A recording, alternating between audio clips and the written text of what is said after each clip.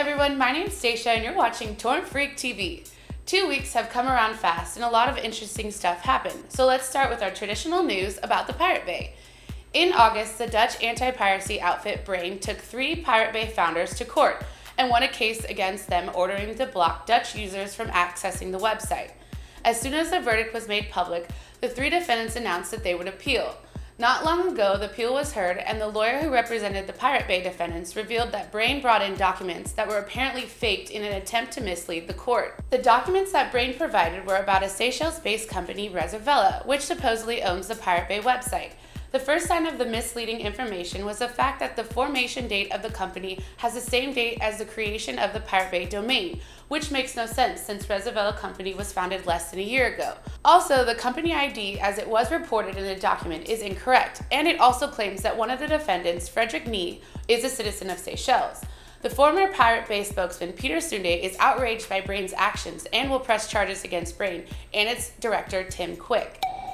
The two creators of Kazaa, which is now known as one of the most, if not the most hated peer-to-peer digital media distribution application, are once again entering the music world. According to New York Times, they've created and financed a brand new secretive startup which has offices in Los Angeles and San Francisco. But there is no reason to worry that they are going to release a new version of Kazaa. According to the article, they are hoping to introduce a music subscription service by early next year that offers seamless access to music from both PCs and cell phone. The new product is registered as Rdio. There are artists who hate everything with the word free attached to their names, and there are those like Edwyn Collins. 15 years ago, Mr. Collins had a hit song called A Girl Like You. After all that time, Mr. Collins thought that it would have been a good idea to share the song for free on MySpace. However, this was easier said than done. Mr. Collins owns all the copyrights to his own music and all the licensing deals for the tracks have expired, but MySpace would not allow him to post the song.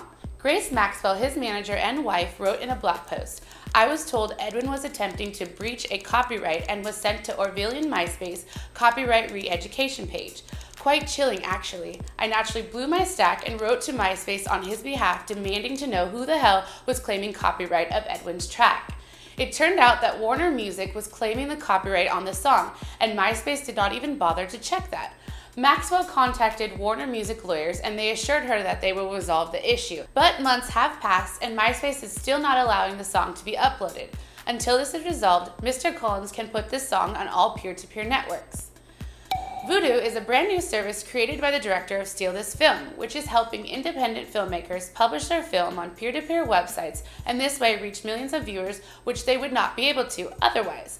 VODO has partnered up with big torrent websites such as the Pirate Bay, Mininova, and IsoHunt, which promise to feature their movies on their websites. VODO works by publishing content to the websites and giving viewers the option to donating to the film creators directly. The first film has been released a few days ago and it's called Us Now. It is a documentary that looks at how user participation could transform the way countries are governed. The film is available for download now, and you can see the short trailer at the end of this episode. Now let's take a look at our app review for this episode. I will actually not be the one talking this time, so say hi to my friend Catherine.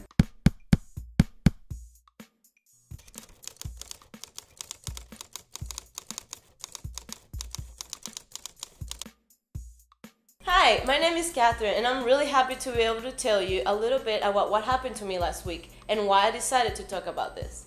I'm a college student and I live in a dorm where my school provides me with internet access.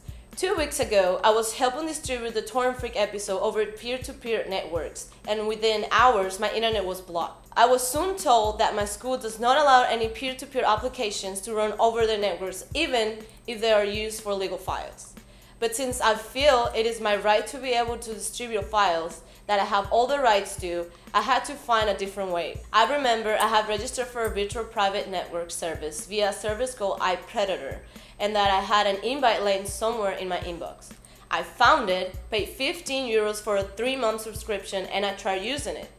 I had to say, I was disappointed at first because the website took forever to load. I then went to Relakks, which is a VPN service provided by the Swedish pirate party, which also costs 15 euros. But no matter which credit card I tried, it was always denied it.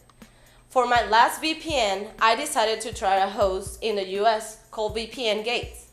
I had few issues logging in, but their customer service was amazing. and they were fast to answer all my emails. However, my connection would always drop when I tried to download a torrent. In the end, I decided to try iPredator again, and to my surprise, the website loaded just fine, and I was getting same speed as I was without using it. So, my point is, if you have any issues or just wanted to hide your activities online, try one of these VPN services. Thank you very much, Catherine. In the last episode, I told you I would give away a free Torrent Freak t shirt to one of the people who follows me on Twitter. I've randomly chosen one of my followers, and I will send him a t shirt. If you want a chance to win a t shirt or you just want to comment on the show or ask questions, you can do so by following me on www.twitter.com slash torrentfreaktv. Thank you very much for tuning in, and I will see you again in two weeks. And now, please take a look at this trailer. Than ever in history, and that that is still growing enormously. The contemporary internet and the tools that make it up give us an immense opportunity to reorganize almost any aspect of our own lives. So if you can create an encyclopedia with a million people who've never met, but the quality is just as good as Britannica, what else could you create? There is this possibility of using these tools to do massive things, which is completely unexplored at the moment.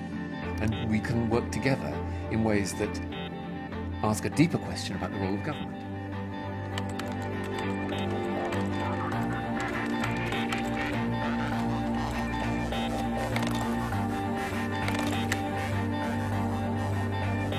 There's a whole new model that's emerging where we become part of the government. I think we've got the technology that any vote that's in Parliament could be offered to the entire country. This is a very profound change. I'm not talking about people lobbying outside parties influencing government. I'm talking about unbundling and reconstituting what is a government. Revolution doesn't happen when society adopts new tools. It happens when society adopts new behaviors.